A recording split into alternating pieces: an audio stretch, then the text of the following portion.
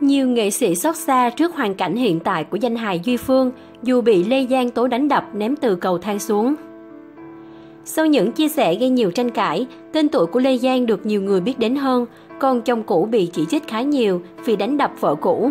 Nhưng điều bất ngờ nhất là việc danh hài Duy Phương đang chật vật kiếm sống từng ngày để lo cho hai con nhỏ, cái kết của những nghệ sĩ ở tuổi xế chiều.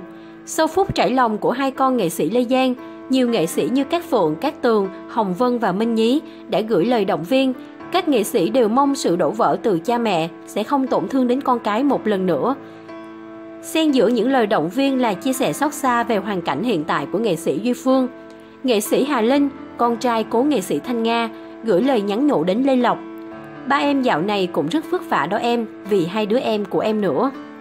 Nghệ sĩ Lê Tính cũng thương di Phương đang sống chật vật ở tuổi xế chiều. Anh cho rằng chuyện đã qua rồi, anh Phương bây giờ cũng rất khó khăn, phải bươn chải đủ nghề để sống và nuôi hai con nhỏ. Nghệ sĩ Lê Tính chia sẻ quan điểm cá nhân sau chương trình sau ánh hào quang mà khách mời là Lê Giang. Lê Giang đã nổi tiếng và ổn định, chuyện đã qua khơi lại thì người nổi tiếng cũng sẽ không nổi tiếng thêm. Người khổ thì có lẽ sẽ bị dư luận lên án nhiều hơn nữa. Đúng như lời bé Lộc, những người khó xử nhất vẫn là hai con, ước gì những điều này đừng khơi lại nữa, nhất là trong thời điểm này. Lê Tính nghĩ khi chương trình phát sóng, dư luận sẽ hướng chỉ trích về phía nghệ sĩ Duy Phương, điều đó không tốt cho bất kỳ ai trong cuộc. Cách đây ít giờ, MC Trấn Thành đã chia sẻ lại clip phỏng vấn Lê Giang trong chương trình. Anh mong khán giả hãy thương các nghệ sĩ tham gia trò chuyện, không quên nhấn mạnh đây chỉ là một góc ký ức nhỏ thôi vì họ đã tha thứ cho nhau rồi.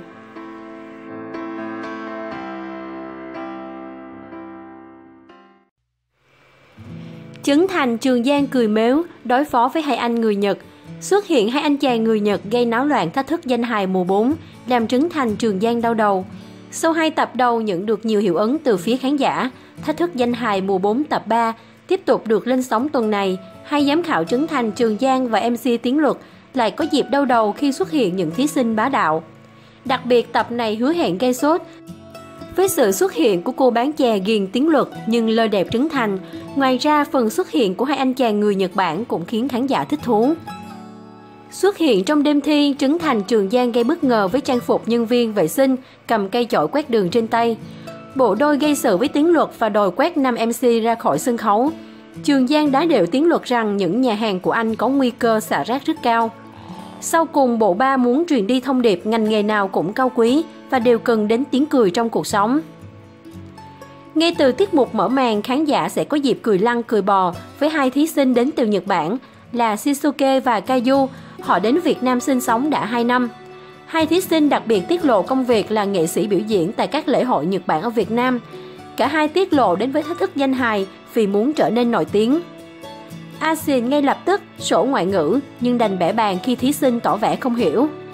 Chính vì khác biệt ngôn ngữ, nhiều tình huống dở khóc dở cười xảy ra khiến cả thí sinh lẫn ban giám khảo đều phải đau đầu.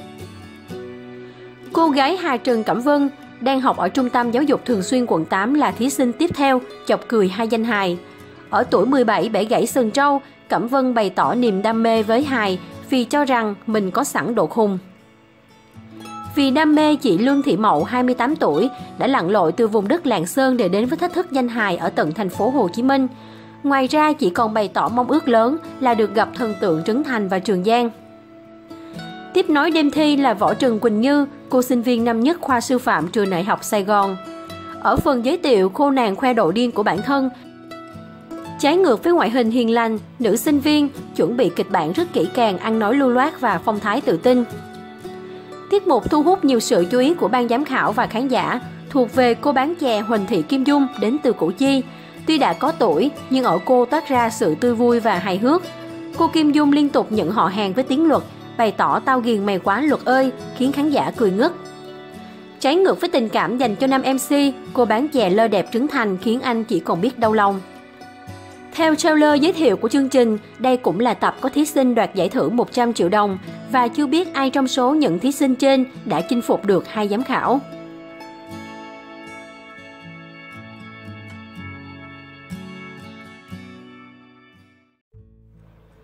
Đồ hiệu không thiếu, nhưng sao nhìn Trương Quỳnh Anh vẫn xến như mỹ nhân kiếm hiệp. Trương Quỳnh Anh sở hữu gu thời trang kém tinh tế và có phần sến sẩm. Xinh đẹp, tài năng và có một gia đình hạnh phúc khiến bao người ngưỡng mộ. Trương Quỳnh Anh chính là biểu tượng của người phụ nữ mà bao cô gái hằng mong ước được như thế. Thế nhưng, nữ diễn viên đình đám chưa bao giờ khiến người hâm mộ hài lòng về phong cách thời trang từ street style cho đến thảm đỏ danh giá mà cô tham dự. Trương Quỳnh Anh không phải là cái tên có sức hút khi nhắc đến gu thời trang đẹp và sành điệu của showbiz. Mặc dù bà mẹ một con luôn rất chỉnh chu và đầu tư khá nhiều vào loạt phụ kiện, váy áo đến từ các thương hiệu cao cấp nổi tiếng trên thế giới. Thế nhưng dường như hình ảnh của bà mẹ đình đám Trương Quỳnh Anh vẫn chưa tinh tế, hay nói cách khác là khá xến xẩm. Thế nhưng cái đẹp trong thời trang rất rộng lớn và vô chừng. Có thể bạn thấy không đẹp, nhưng đối với Trương Quỳnh Anh, nó rất hợp với cô. Có chăng thì những bộ cánh này không vừa mắt số đông người hâm mộ mà thôi. Set đồ này của Trương Quỳnh Anh nổi bật nhất là chiếc túi MCM, nhưng dường như nó không hợp với tổng thể và có phần lạc lõng. Có lẽ vì hay bận rộn với công việc nên Trương Quỳnh Anh sắm rất nhiều túi sách có quai đeo và cô thường hay đeo túi chéo, điển hình là chiếc túi màu đen của Gucci này. Mặc dù đây là túi hiệu đắt đỏ, nhưng outfit này rõ ràng không hề sang chút nào. Set đồ có vẻ khá khẩm nhất từ đầu đến giờ, nhưng giá như chiếc áo trễ vai được thay bằng một chiếc áo thun đơn giản, giày cao gót đổi sang sticker thì có phải trẻ trung và phù hợp để đi chơi với con trai hơn không? Không biết Trương Quỳnh Anh định diện xét đồ hường đỏ này cùng chiếc túi Chanel xa xỉ đi đâu nhỉ? Đây rồi cuối cùng cũng có một xét đồ thể thao nhìn tạm ổn, nhưng nếu cô chọn một đôi tất thấp cổ hơn thì hoàn hảo. Cũng mũ barret cùng áo khoác trễ vai sexy, nhưng nhìn cứ bị kiếm hiệp kiểu gì ấy. Lúc cần sang chảnh với túi sách xa hoa bậc nhất, thì lại không làm tới. Chiếc kính mát khá hợp với màu của chân váy, thế nhưng diện đồ khuôn ngầu mà bà xã của Tim lại chọn tông make up ngọt ngào và nhẹ nhàng như công chúa. Quỳnh Anh có vẻ rất thích xu hướng áo khoác hờ hững đầy sang chảnh, nhưng cách make up vẫn là không phù hợp, chỉ cần cột cao tóc lên, tổng thể sẽ khá ngay. Phi Thanh Vân trả lời ứng xử quá giờ, bị cắt vẫn không chịu ngừng. Phi Thanh Vân tiếp tục vấp phải phản ứng trái chiều với phần trả lời ứng xử của cô tại cuộc thi Hoa hậu Doanh nhân Thế giới Người Việt 2017. Sau thời gian chuẩn bị vào đầu tháng 12, cụ người mẫu Phi Thanh Vân lên đường sang Mỹ tham dự cuộc thi Hoa hậu Doanh nhân Thế giới Người Việt 2017. Đây là cuộc thi dành cho các quý bà người Việt thành đạt trên toàn cầu. Trải qua 3 vòng thi trang phục áo dài, áo tắm và dạ hội, Phi Thanh Vân gây bất ngờ khi công bố đăng quang cuộc thi Hoa hậu Doanh nhân Thế giới Người Việt được tổ chức tại tiểu bang Florida với sự tham gia của 20 thí sinh. Bên cạnh những ồn ào về quy mô cuộc thi, nữ hoàng giao kéo cũng khiến nhiều người thắc mắc về việc cô đã được Cục Nghệ thuật biểu diễn cấp phép hay chưa. Ngoài ra, Phi Thanh Vân vấp phải phản ứng trái chiều của khán giả với phần trả lời ấn xử của cô tại Hoa hậu Doanh nhân Thế giới Người Việt 2017. Cụ thể, một clip đang được lan truyền rộng rãi trên mạng xã hội ghi lại toàn bộ phần thi ứng xử của tân hoa hậu Phi Thanh Vân. Chuyện sẽ chẳng có gì đáng nói nếu cụ người mẫu không trả lời dài dòng lan man hay thậm chí kể lại cuộc đời dù câu hỏi không liên quan. Hay thậm chí dù chưa đăng quang nhưng bà mẹ một con cũng đã cúi đầu cảm ơn khán giả, ban tổ chức và các thí sinh. Đặc biệt nhất là dù có sự can thiệp của MC, cô vẫn hồn nhiên nói tiếp. Theo đó, khi nhận được câu hỏi, em sẽ làm gì để em đẹp hơn nếu có sự lựa chọn. Không trả lời câu hỏi ngay mà Phi Thanh Vân gọi giám khảo đặt ra câu hỏi cho cô là anh đẹp trai. Sau đó, Phi Thanh Vân gửi lời chào tất cả mọi người, cũng như gửi lời cảm ơn trước khi trả lời câu hỏi chính thức. Nhưng chỉ màn chào hỏi của cô đã kéo dài tới 2 phút. Phần thi ứng xử của Phi Thanh Vân kéo dài hơn 5 phút. Phi Thanh Vân tiếp tục tâm sự từ nhỏ em ước mơ trở thành công chúa, nhưng lớn lên em cảm thấy mình không hoàn hảo và em đã nhờ tới thẩm mỹ để mình xinh đẹp hơn. Vì có sự lựa chọn khi quyết định tham gia cuộc thi này, em đã mạnh dạn làm đại phẫu thuật để có 3 vòng chuẩn châu Á và thân hình đồng hồ cát. Cuối cùng, cụ người mẫu vẫn đã thuyết phục được ban giám khảo và giành ngôi vị Hoa hậu Doanh nhân Thế giới Người Việt 2017.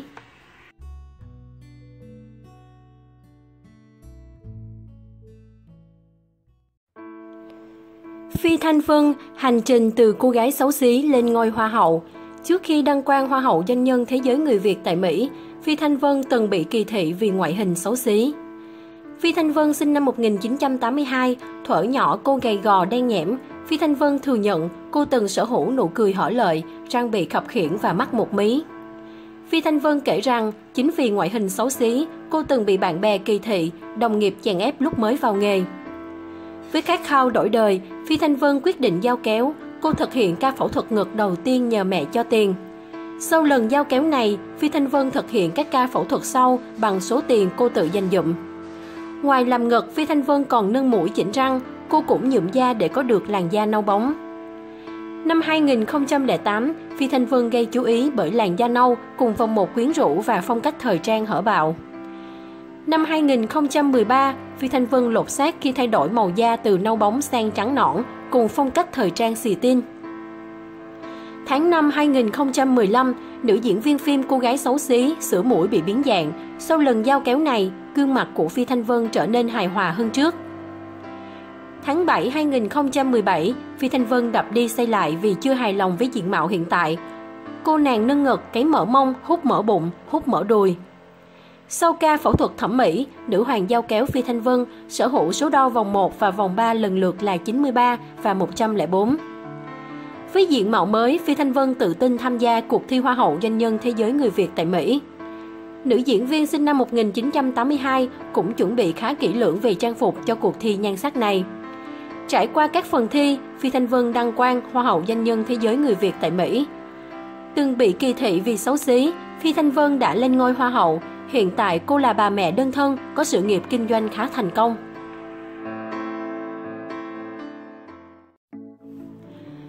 Trương Quỳnh Anh vướng tin đồn tình cảm với Bình Minh, tìm được giải nổi oan sau 7 năm. Cũng nhờ ôm mao này, nhiều người nhận ra trong cuộc hôn nhân của team Trương Quỳnh Anh, ai là người muốn buông và ai là người muốn giữ. Khi tin đồn Trương Quỳnh Anh và Tim đã ly hôn thật sự hay chỉ là chiêu trò vẫn chưa có lời giải, thì một ồn ào mới xảy ra khiến nhiều người hoang mang. Đó là việc Trương Quỳnh Anh bị nghi có tình cảm trên mức bạn bè với Bình Minh. Cũng nhờ ồn ào của vợ mà Tim được giải nổi oan 7 năm qua và giúp công chúng có cái nhìn nhiều chiều hơn về cuộc hôn nhân giữa nam ca sĩ với Trương Quỳnh Anh. Trước đây, Tim bị cập mắt là người vô tâm, ham vui và thậm chí là đào hoa khi vướng scandal vượt rào với Minh Hằng và nghi án tình cảm với Marian Nguyễn. Tuy sau đó cả Marian Nguyễn và Tim đều phủ nhận, nhưng tiếng xấu vẫn đeo bám anh cho đến tận bây giờ. Riêng Trương Quỳnh Anh trong mắt mọi người là một người phụ nữ bao dung, bất chấp sự phản đối của gia đình để yêu Tim. Sau ồn ào tình cảm của Trương Quỳnh Anh, chưa biết thật giả thế nào, nhưng nhiều người đã có cái nhìn khác về Tim và chợt nhận ra rằng hóa ra bấy lâu nay đã nghị oan cho nam ca sĩ. Minh chứng là khi Trương Quỳnh Anh mang bầu, Tim đã dám chịu trách nhiệm, anh cũng quyết định gắn kết lâu dài với Trương Quỳnh Anh khi âm thầm đăng ký kết hôn. Tim cũng không ngại xuất hiện tại sự kiện cùng Trương Quỳnh Anh, dành cho vợ màn cầu hôn ngọt ngào như trong phim và những lời có cánh. Còn nhớ khi Trương Quỳnh Anh ôm con bỏ đi, Tim đã hối hận và bi lụy đến nhường nào. Sau tất cả những gì Tim đã làm có thể kết luận chỉ có thể là yêu thôi. Trong một chương trình, Tim đã thẳng thắn chia sẻ, trước giờ em vẫn nghi ngờ tình cảm của Quỳnh Anh. Lâu nay em cứ nghĩ mấu chốt là ba mẹ Quỳnh Anh, nhưng không phải. Trong 7 năm qua, anh không ngừng tìm mọi cách để gọi điện thuyết phục ba mẹ Quỳnh Anh chấp nhận mình. Nhưng chính Quỳnh Anh lại không thật sự biết mình muốn gì. Tim từng hé lộ chuyện Trương Quỳnh Anh say nắng bạn diễn vào năm 2014. Khi đó, Tim đã phát hiện ra mối quan hệ bất thường này qua những dòng tin nhắn giữa vợ và người kia. Nhưng thay vì nổi cơn ghen, Tim đã nhẹ nhàng khuyên nhủ Quỳnh Anh dừng lại vì người kia không xứng đáng. Anh cũng nói chuyện trực tiếp với người đàn ông kia, nhắc họ là cả hai đều có gia đình thì nên biết giữ gìn. Nhờ cách ứng xử khôn khéo của Tim mà mọi việc đã dừng lại trong êm đẹp. Ngay cả bây giờ, khi loạt ảnh thân mật của Trương Quỳnh Anh và Bình Minh bị rò rỉ, Tim vẫn im lặng đưa đón con. Đây có lẽ là cách Tim bảo vệ Trương Quỳnh Anh trước ồn ào. Chỉ bấy nhiêu thôi cũng đủ thấy rằng trong 7 năm qua, Tim mới chính là người luôn muốn níu giữ mối quan hệ. Nhờ ồn ào của Trương Quỳnh Anh mà Tim không chỉ gột rửa được tiếng xấu, mà còn nhận được nhiều ý kiến đồng cảm từ công chúng.